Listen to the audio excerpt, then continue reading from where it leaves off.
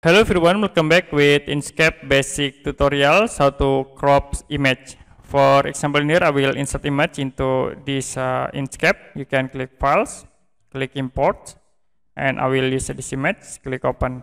So will be show JPEG a bitmap image import uh, dialog box and we can set default settings, click OK.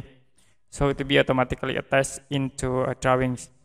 Now, if you want to crop uh, these uh, objects, we can use these uh, rectangle tools. Okay, you can click start from this point into here. The next, you can right click in uh, these rectangles and click fill and stroke. In here, you can set for opacity. Okay, I will set into this point for opacity uh, these uh, rectangles. Click close. And to crop, you can click objects, click clips, and you can click sheet.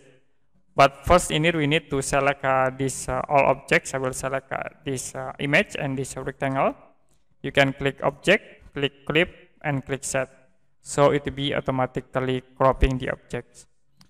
If you want to back into default, you can click here, objects, click clip, and click release. So it will be back into normal. You also can change like uh, these rectangles into circle. Okay, we write in it circle and I will move into this point.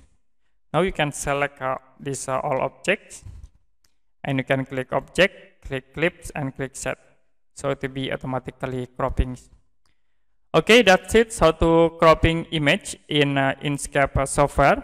And if you have any question about this tutorial, you can comment below this video.